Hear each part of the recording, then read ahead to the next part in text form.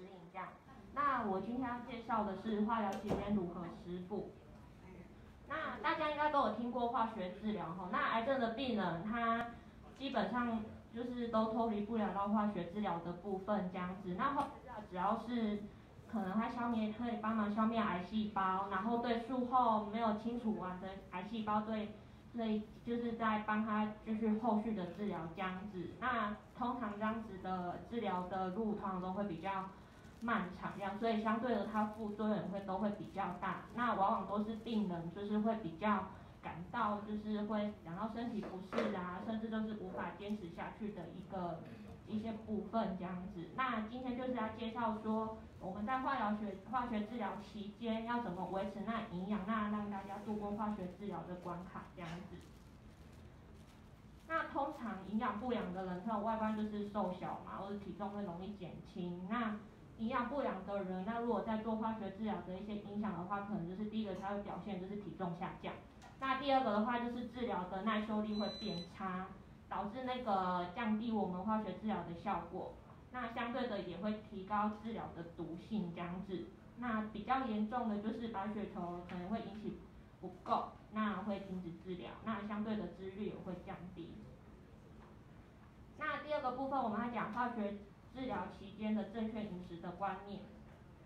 通常我们要怎么维持那个营养呢？那我们可以建议少量多餐。那因为往往一些副作用就是会。让病人都会吃不下、喝不下，那我们就会建议要少量多餐。那可以制造就是用餐的环境可以就是比较愉悦、放松的部分，也可以促进食欲这样子。那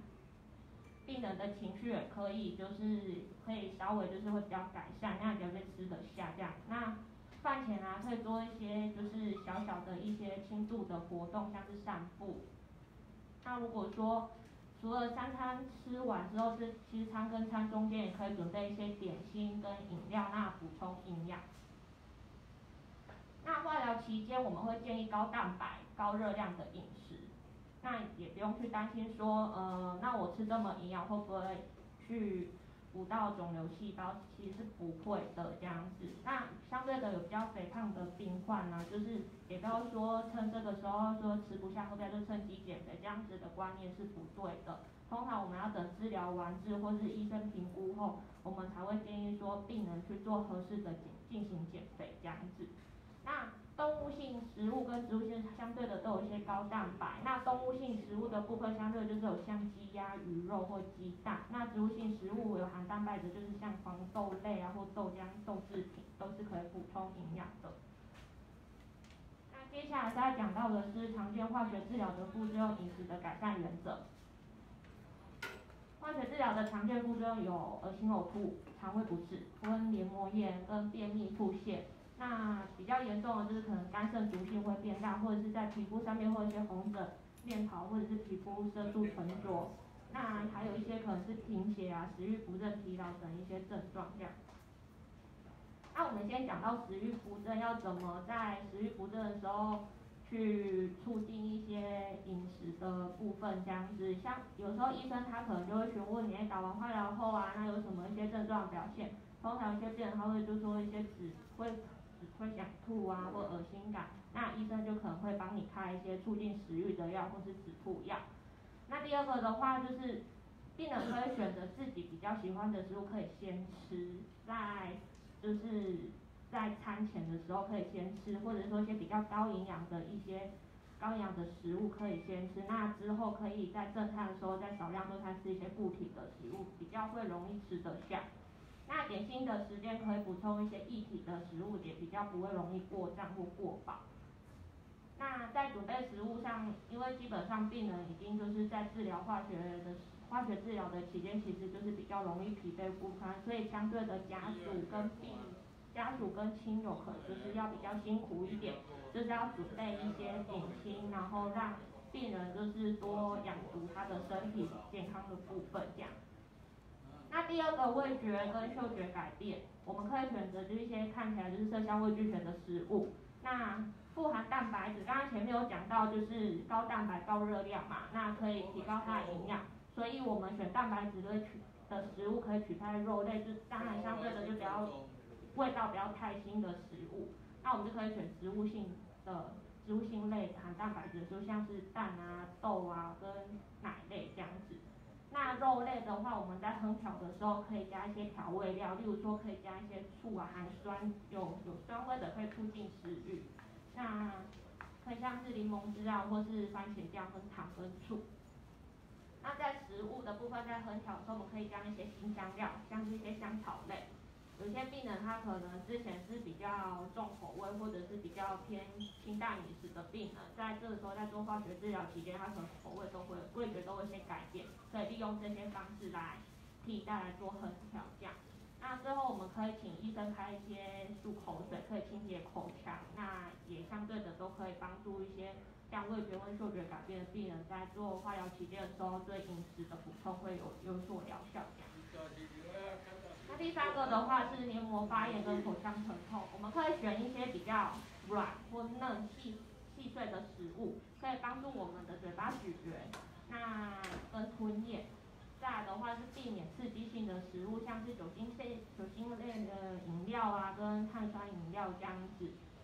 那第三个的话，可能就是可能请自己的家人在准备食物的时候，就是要比较细心一点，可能就是说要要尽量剁碎啊、煮软啊，或者是说把食物要放在放凉之后再进食，因为有时候太热的食物反而会吃不下，因为会导致黏膜疼痛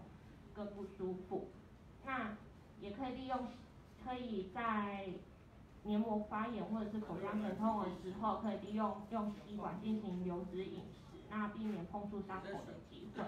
那最后也是可以请医生开立那个麻醉性的漱口药水，然后在进食前就是可以使用，降低疼痛。再来的话是吞咽困难的部分，吞咽困难的话就是其实跟前面前面的步骤是会有点像哈，就是可以用一些像食物啊煮软啊，或将一些加一些酱汁跟汤汁去进食，这样可以帮助。食物吞咽比较好吞，那也比较不会说都完全吃不下这样子，那避免太粗太硬太黏的食物，那食物也是要建议就是比较冷冷一点的，比较偏凉的，不要吃太热的，这样子也不太好吞。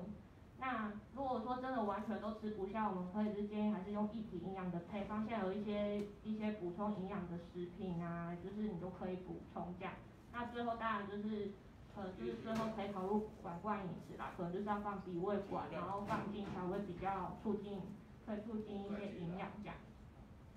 再的话，恶心的部分，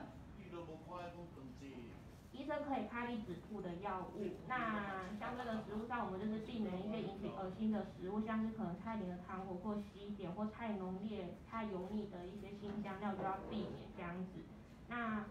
尽量在那个通风处就是用食，因为有时候空气或者是湿度太湿或是太闷，所以有时候吃东西也会容易吃不下，也会造成恶心感的，恶恶心感的那个感觉会出现这样子。那可以选一些比较清淡的食物，像是吐司或苏打饼干跟蔬菜水果。那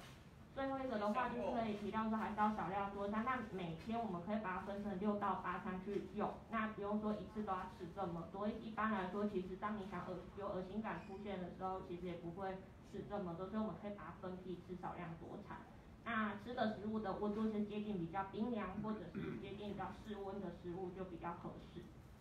再是呕吐。那一样，医生一样，他就会开始止吐剂。那也是建议先从轻油脂的饮食，像是果汁、米汤，那后面可以加一些像流质或者是偏软质的食物，慢慢的增加。这样子并不是说，哎，每次我打完化疗后都有一些不舒服，那我就完全不吃，其实这样是不对的。其实是要加一些，